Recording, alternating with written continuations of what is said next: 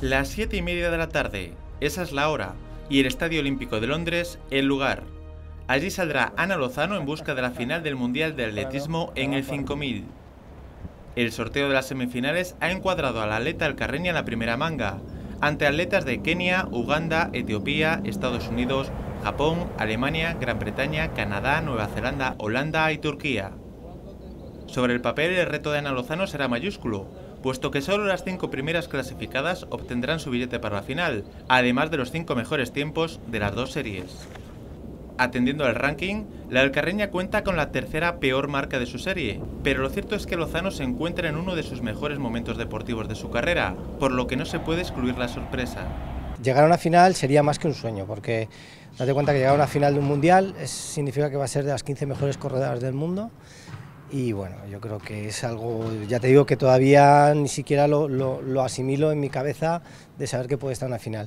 Pero si pongo los pies en el suelo, hay posibilidades, no, no un porcentaje muy alto, pero alguna posibilidad ahí está ahí, hay que competir y, y puede ser, puede ser.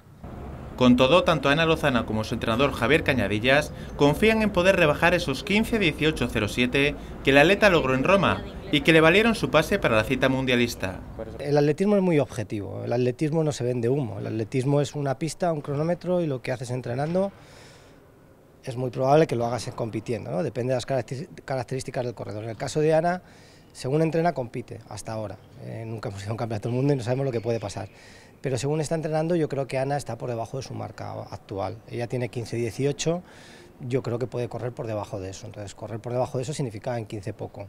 Eh, date cuenta que con 15-18 es la sexta mejor marca de la historia del atletismo español. Si baja de eso, pues es una marca muy importante. Según los entrenos, está ahí, está ahí. Lo que pasa es que ya te digo, somos novatos en un campeonato del mundo y a ver ella cómo se desenvuelve ahí. Yo espero que bien, pero... Muchos aficionados al Carreño se citarán a las 7 y cuarto de la tarde en la Cruz Blanca, situada en el Boulevard de Entrepeñas, para seguir en directo la carrera.